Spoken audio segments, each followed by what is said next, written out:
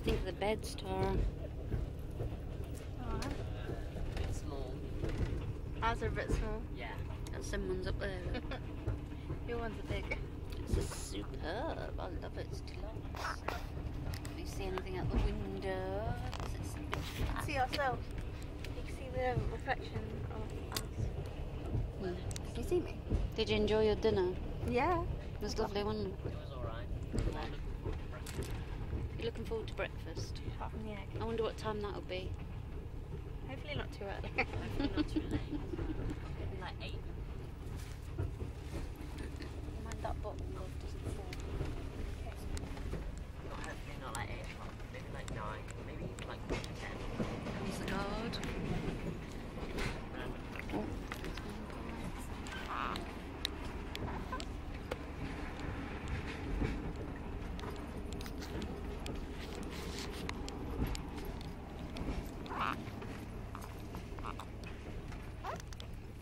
It's like being on a ship, only with uh, bigger bunks.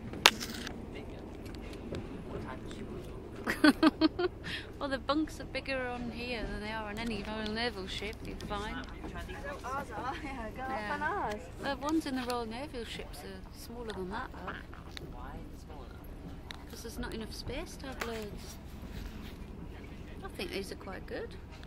I know yours might be a bit narrow, but Your only ours little. are half the Ours size. are, are a bit narrow. Just a bit. Just a bit. Let's have a look then. The toilets are up there. What, a beer. Mum, let me get in mine. I'll. Tara demonstrating getting into a bunk. See the buckle? They, they, they, they keep you in at night. hmm Don't forget your seatbelt.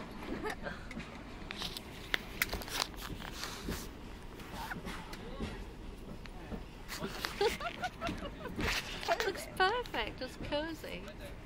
Too cozy. Lovely. Too, too cozy. What do you mean you haven't got any room? Look at all the room you've got. Crikey. You want to try going on a submarine? we have. Have you? Oh.